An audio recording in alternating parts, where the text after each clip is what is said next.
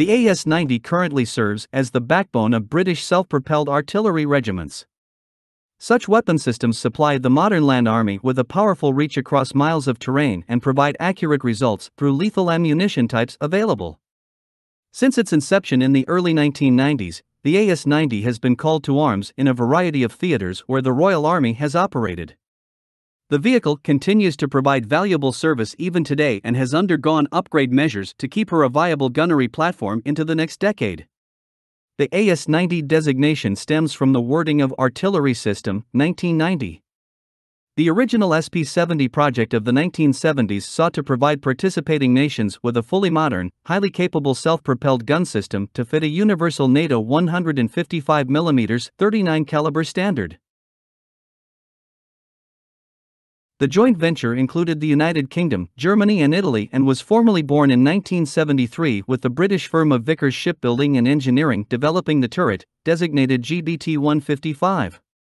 In trials, the SP 70 was outgunned in several respects by the competing American made, proven and readily available M109 self propelled gun, which eventually led to the SP 70 project being cancelled in full. In an effort to shore up the inherent deficiencies in the abandoned SP 70 design, Vickers took to creating an all new private venture self propelled artillery design that included both an in house turret and chassis. The main gun itself was based on the 155mm FH 70 towed field gun, and several automotive components of the Challenger main battle tank were integrated into the hull, including a quick change transmission system, removal in about one hour. The first prototypes were completed in 1986.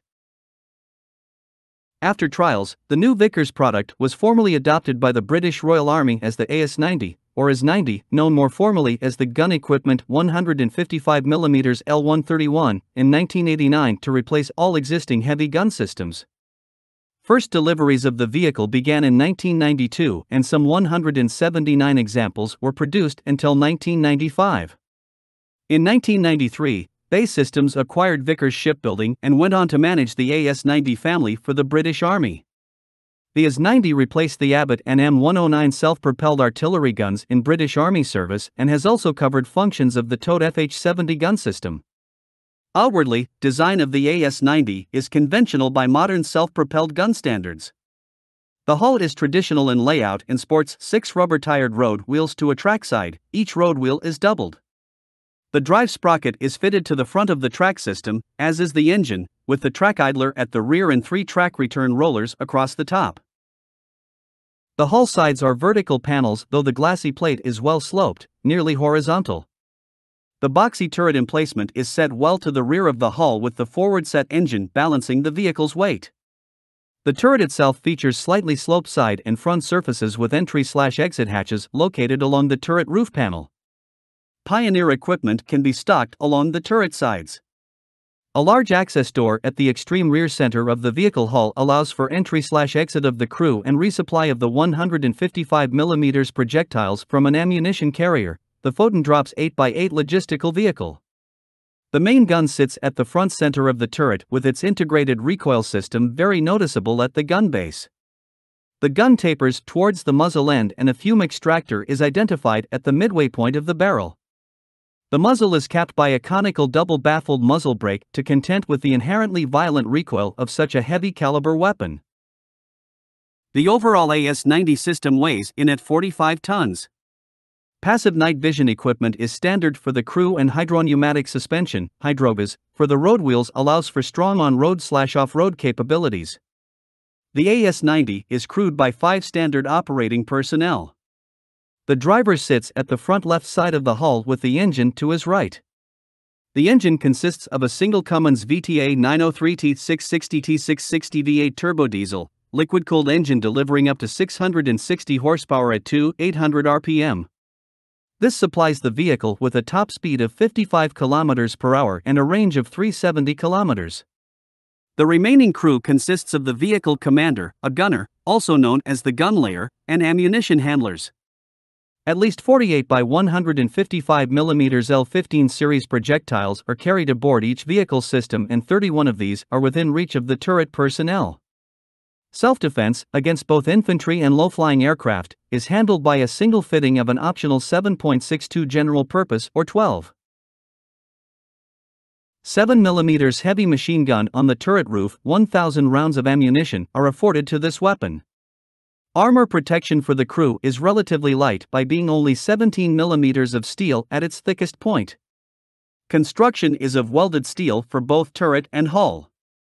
A nuclear, biological, and chemical NBC system is also standard for the crew, harkening back to the days of the Cold War. 10x smoke grenade dischargers can be called upon to cover offensive and retreat actions of the vehicle. An internal fire suppression system helps protect the crew from internal fires. The main gun is cleared for the firing of 155 mm projectiles and has an inherent range out to 25 km. The 155 mm L31/39 caliber ordnance version can strike at target areas out to 25, 24.7 km, while the 155 mm 52 caliber version can reach out to 30 km. Extended range ammunition (ERA) can further this value up to 80 km. The standard gun projectile is a high explosive, fragmentation, HFRAG, round and rocket assisted types are available for increased ranges. The loader places the projectile onto the awaiting cradle arm, which then automatically slides the round into the breech. The main gun is optimized with a split sliding breech mechanism, which, when coupled with a capable crew, can fire up to 6 rounds per minute for up to 3 minutes if need be, with sustained firing dropping to 2 rounds per minute. The turret sports a fully automatic gun laying system that displays pertinent information back to the vehicle commander, gunner, and loader. The gun laying system is integrated with the vehicle's inertial navigation system known as the Dynamic Reference Unit, DRU. When traveling, the barrel is secured to a heavy duty A frame type clamp that folds out from the glacis plate.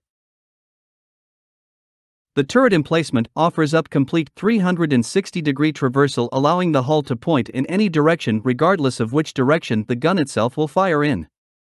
Elevation is limited to plus 70 and minus 5 degrees. An auxiliary power unit allows the vehicle's engine to be powered down but keeps the turret functions active. The original AS90 was converted for operations in desert environments to produce the AS90D designation, D equals desert. To content with the extreme temperatures and unforgiving climates inherent in such regions of the world, particularly in the Middle East, the engine received additional cooling measures to prevent overheating. Thermal protection was applied for the crew within, and specially designed tracks were integrated into the design to promote much improved travel over loose sandy terrain. In 2002, there proved a new initiative to increase the AS-90's main gun reach on at least 96 of the existing AS-90 vehicles with the addition of the longer 155mm-52 gun utilizing a specialized propellant charge. However, this project came to naught when the needed charge could not be agreed upon. These AS-90 systems would have been known as AS-90 Braveheart after the upgrade. The Polish Krab self propelled gun platform utilizes the turret system of the abandoned British AS 90 Braveheart proposed vehicles but seats these on the hull of a Russian T 72 main battle tank. The completed designs are entirely indigenous to the Polish nation with the turrets procured through licensing. As such, existing British Army AS-90 systems still field their original L31/39 caliber ordnance main guns. In 2008, the AS90 family had their electronics upgraded to modern standards.